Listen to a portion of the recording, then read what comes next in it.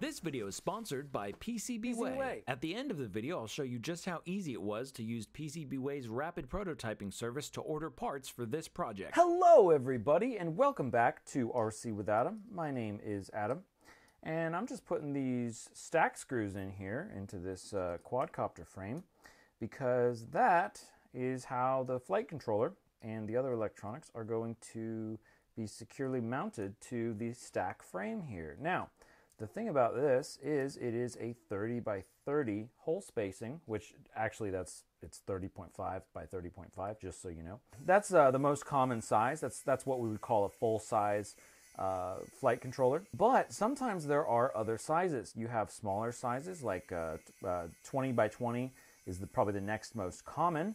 Um, I don't think anything is really 16 by 16 anymore, but that, that is out there for some smaller components like video transmitters and stuff like that. What you also have is 25 by 25, and I, I believe all of those are actually 0.5 added to the end, but we just say, you know, the whole number because it's easier to say. Here you'll notice that this frame right here uh, does not have any other size of uh, mount. So what do you do? Well, you sponsor this video by PCBWay and you have them 3D print uh, some designs. I've got some things here to show you, some fun things, and this may solve your problem if you are uh, building a quadcopter and uh, you need to mount some different size flight controllers. Now, uh, long story short, you can download these STL model files uh, for these adapters to go from one size flight controller to the other. Um, you can get these on rcwithadam.com, link in the description down below. And you can 3D print your own. But uh, what I did is uh, I had uh, PCBWay print these for me using their rapid prototyping service. I thought I'd show you, just kind of demonstrate here. We have the red and the blue. These are uh, printed UTR 8100 and then they are dyed. And then these guys over here, 3D printed in aluminum actually, so you can hear that. These guys are actually metal, so it's you know they're heavier. This is just kind of a novelty. I just wanted to show you guys kind of you know some of the things that are possible with 3D printing. So I have three different designs here. Now, why would I have three different designs? Well, that's because there are some different situations that we would need a different design for. So, uh, for example, these first two, the red and the blue, these were designed to be printed with the little pegs, the little pegs that go in the little grommets to hold the flight controller. So, for example, here is a all-in-one flight controller board, and these pegs that are 3D printed will just slide right here in the grommet, and you can just press that in, and really that would probably secure it just fine.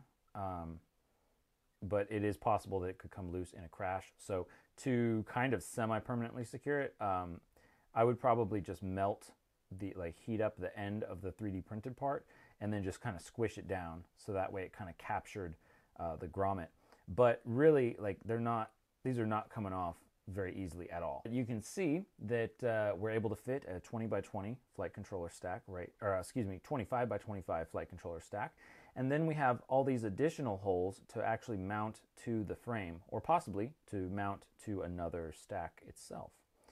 Um, and then the other situation that you might come across is um, maybe the flight controller, like this one, you'll notice that it has a little arrow right there. And the little arrow means that uh, this flight controller was designed to be installed uh, with the arrow pointing forwards, like towards the front of the quad.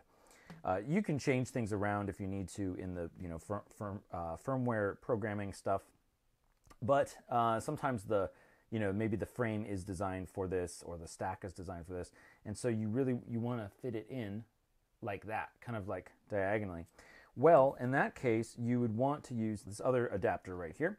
This adapter is designed to fit the 30 by 30 spacing right here something like that.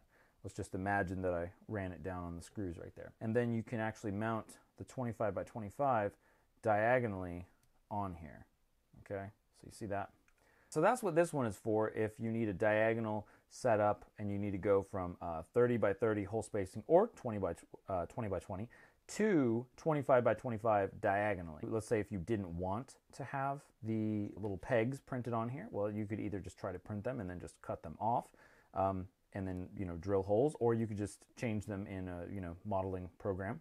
Um, but if you want it just flat and kind of as an adapter, kind of a bridge to go from like a uh, let's say you have a 30 by 30 ESC stack and then you want to put a 20 by 20 flight controller on there. This uh, would work well for that. This one is just completely flat, so it's very easy to print. For example, let's say that we wanted to take this 30 by 30 ESC all-in-one board.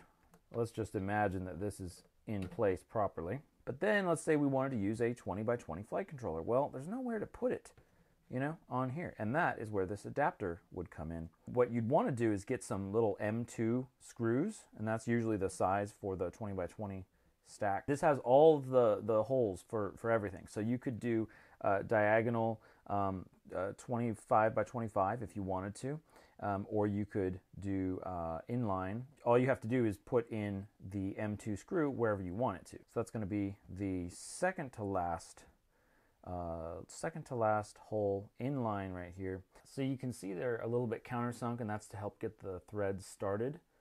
All right, so so this is our 30 by 30, 25 by 25, 20 by 20, and then 16 by 16.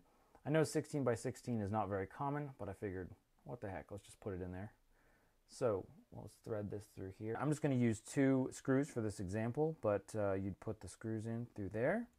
Okay, your stack is attached, and then you just attach it uh, right on top of your 30 by 30 board. Now, um, you might want or you would want to put some spacers and you're going to want some pretty tall stack screws.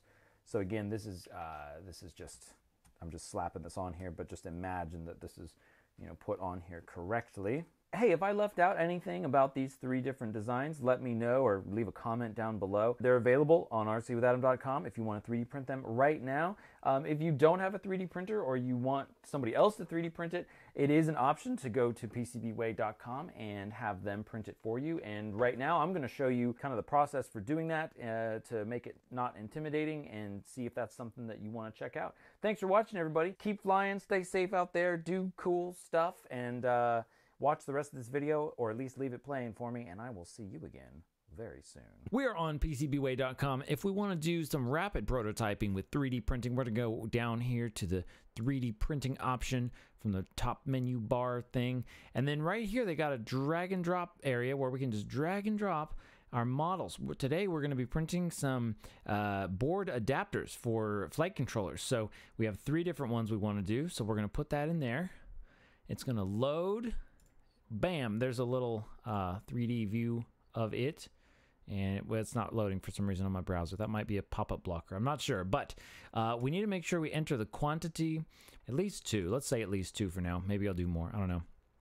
Uh, the design units are in millimeters, and then we get to pick what we want. Um, now, we do have a lot of different options, and it's cool because they do sort of say what the uh, material is and kind of a description for it. So that's pretty cool. Um, I think it would be cool to get. I, I like resin, and I, I do want to do resin because I think that's going to be um, some of the, the, best because these adapters are so small. So, so I think resin could be good. Nylon could be good as well. Let's let's do resin though. Let's do resin. Um, you know, uh, titanium would be cool just because it's titanium. But and then we have different options for resin here. So, um, you know, you have to kind of uh, look at the description to see what you want. So this one says plastic, high toughness, high heat resistance. We really want. Well, I, I love these transparent ones. Um, and honestly, I mean, let's see, colorless, transparent material with uh, blah, blah, blah, blah, blah, suitable for general use models. Yeah, that's probably fine. Probably. I just I love that it's transparent. Um, and it's so cool because you can uh, dye it uh, different colors. So like we could dye it like a blue color. I think blue looks pretty good. Let's just let's do this one in blue, and let's see what else. Oh, that one's translucent, transparent, translucent. What's what's that? Oh, okay, okay. I see. So yeah, kind of it's kind of similar general use. Uh, let's stick with the transparent. I like that. So transparent, we're going to dye it this blue color. I think that looks cool. And then we don't have any technical drawings we need to upload. Um, we don't have any other kinds of uh, threads that needed to be tapped or inserts or anything else going on really. It's a very simple part. Um, and the printing risk, I'm not sure if that's actually required. Customer knows about the thin walls designed to do not meet the wall thickness standard, but needs to print as is, takes all risks. Um, is that, and then they give you an example of that. So I'm not sure if that's required. Let's just leave that alone uh, for now. Um, and then that's basically it. So we're done with that part. And then you'll see at the bottom, there's another drop down or drop in uh, little thing there. So we can just take our part here and boop. There we go. That's it. So then we can scroll back up here. You see that they give you like an estimate of the cost here. And then what you do is you say submit request. You can sign up, or if you have a login, you can go ahead and log in. It'll take you to this page, and this you'll notice right here is where it says being reviewed.